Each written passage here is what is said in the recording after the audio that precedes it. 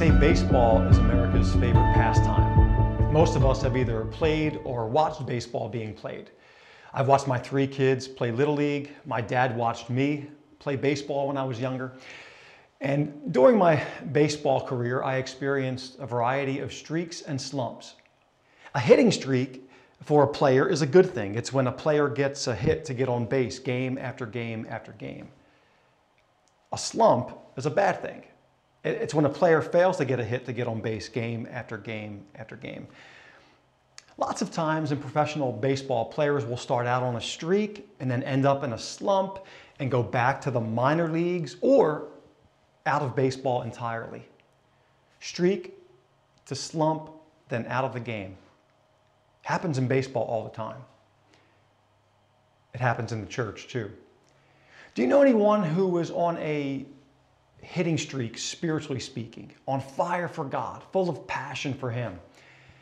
And then all of a sudden it seems like they hit a wall, a slump. And deep in their soul, they feel like their best days in Christ are behind them, not before them.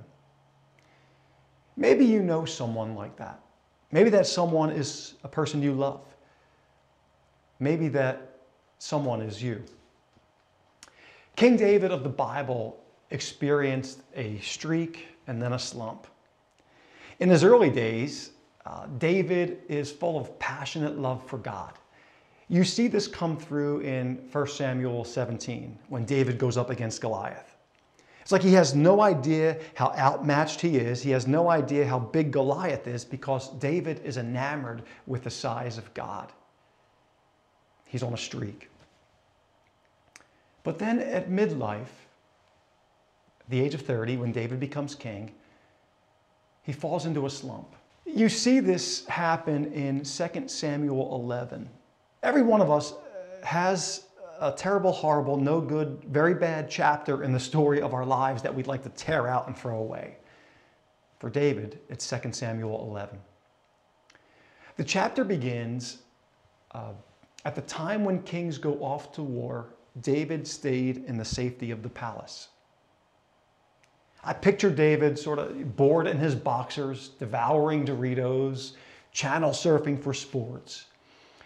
And then he in his boredom, goes onto the rooftop of the palace looking for something, anything to make him feel something or anything again. And he sees on the rooftop of the palace, he looks down and sees a beautiful woman named Bathsheba taking a bath. She's rightly named.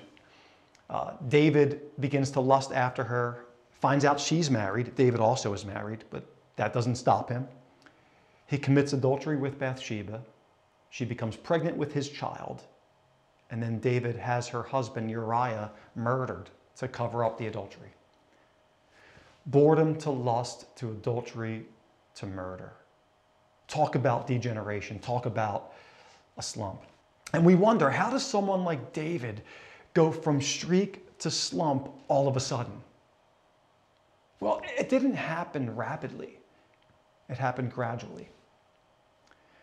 Up until 2 Samuel 5, when David becomes king, we read the phrase, David inquired of the Lord, five times.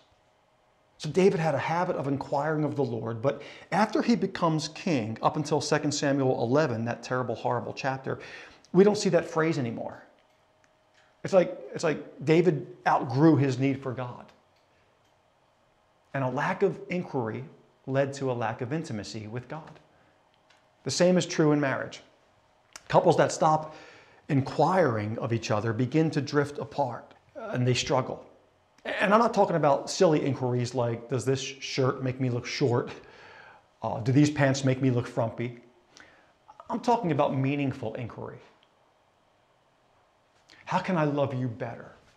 How can we as a couple make sure that our love for each other and for God goes deeper as we grow older? Well, David is stuck in a slump.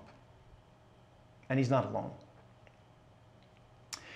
Many Christians will admit, at least the honest ones will admit, that they are stuck in a slump. It can happen to the best of us, even those we deem to be spiritual heroes like David or my 75 year old friend Bill. We'll just call him Bill, that's not his real name. Bill is one of the most vibrant and vivacious Christians I know. He's mentored hundreds of Christian leaders.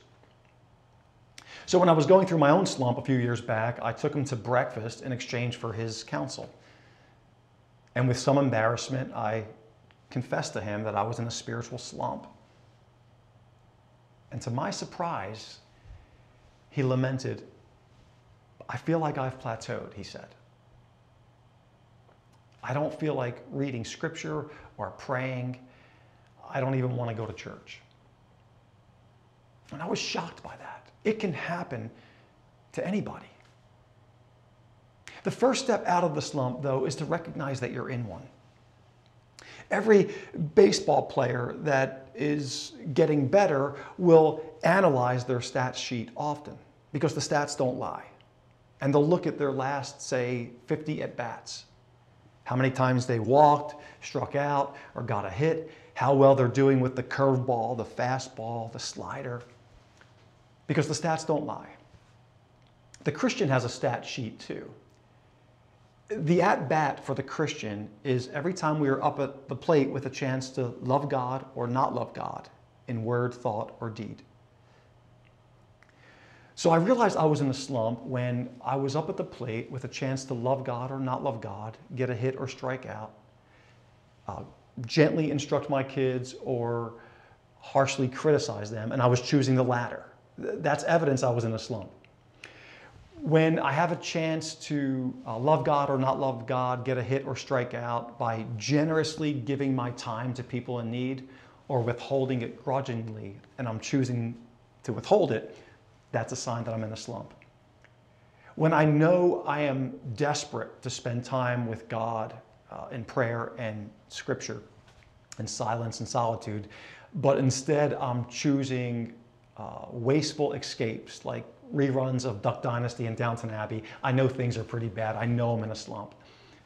The first step out of the slump is to admit that you're in one. But I've learned a valuable lesson. The slump doesn't have to destroy you, it can actually deepen you. Frank Robinson is one of the best players to ever play the game of baseball. In his rookie season, he had a phenomenal year. But then in his second season, he ended up in a slump. He went zero hits for 20 at bats. And Robinson said, recalling that time, I didn't think I was ever going to get a hit again. But as you know, he did hit the ball again and became one of the greatest players to play the game.